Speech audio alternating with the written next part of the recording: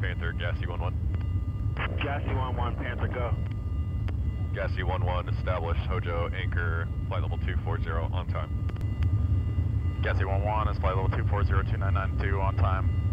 This is the mighty KC-10A extender. It's a multi-role tanker and cargo refueler. We can hold 340,000 pounds of fuel.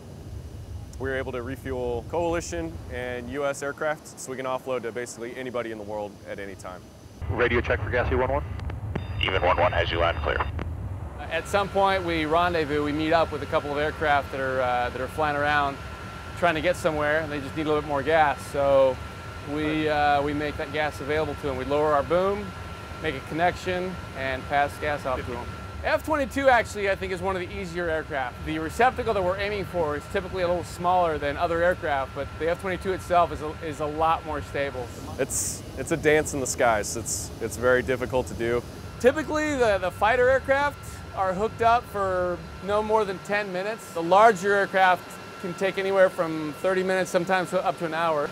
Uh, there's a lot of gas flowing. But that's why we're up here for this exercise, is to, to train with everybody. We've got American fighters uh, stationed in Japan, we've got them from North Carolina, we've got the Marines from all over the place. So this gives us an opportunity to all be together in one spot and to train just in case something happens, get us all on the same sheet of music.